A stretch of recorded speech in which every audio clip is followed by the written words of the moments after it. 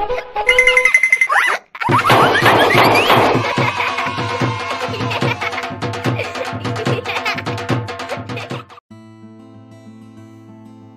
ਸ਼੍ਰੀ ਅਕਾਲ ਜੀ।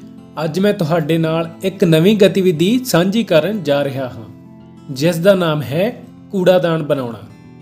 ਇਸ ਵਿੱਚ ਅਸੀਂ ਕੂੜਾਦਾਨ ਬਣਾਉਣਾ ਸਿੱਖਾਂਗੇ।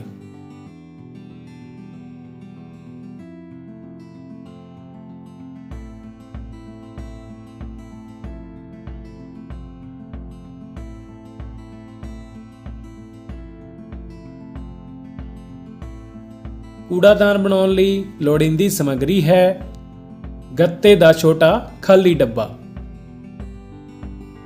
ਰੰਗਦਾਰ ਪੇਪਰ, ਸਕੇਲ ਗੂੰਦ ਕੈਂਚੀ ਜਾਂ ਕਟਰ, ਮਾਰਕਰ। ਚਲੋ, ਗਤੀਵਿਧੀ ਸ਼ੁਰੂ ਕਰਦੇ ਹਾਂ। ਇਸ ਗਤੀਵਿਧੀ ਲਈ ਸਾਨੂੰ ਸਭ ਤੋਂ ਪਹਿਲਾਂ ਇੱਕ ਖਾਲੀ ਡੱਬੇ ਦੀ ਜ਼ਰੂਰਤ ਹੈ।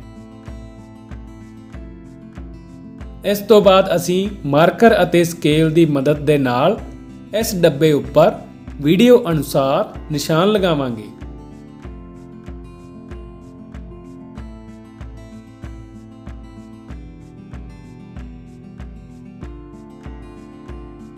ਹੁਣ ਕੈਂਚੀ ਜਾਂ ਕਟਰ ਨਾਲ ਅਸੀਂ ਇਸ ਡੱਬੇ ਦੇ ਨਿਸ਼ਾਨ ਲੱਗੇ ਹਿੱਸੇ ਨੂੰ ਕੱਟਾਂਗੇ।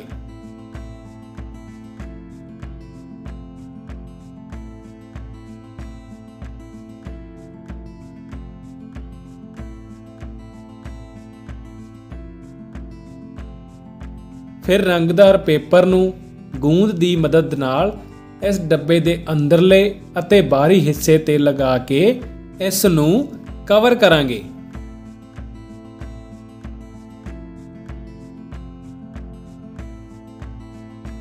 ਇਸ ਤੋਂ ਬਾਅਦ ਛੋਟੀ ਡੰਡੀ ਜਾਂ ਤੀਲੀ ਲੈ ਕੇ ਇਸ ਦੇ ਉੱਪਰ ਲਗਾਓ।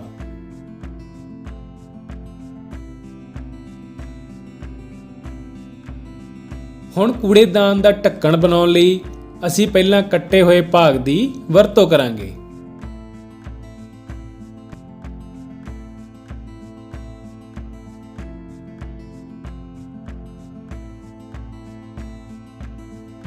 ਇਸ ਢੱਕਣ ਨੂੰ ਵੀ ਤੁਸੀਂ ਰੰਗਦਾਰ ਪੇਪਰ ਦੀ ਮਦਦ ਨਾਲ ਕਵਰ ਕਰਨਾ ਹੈ।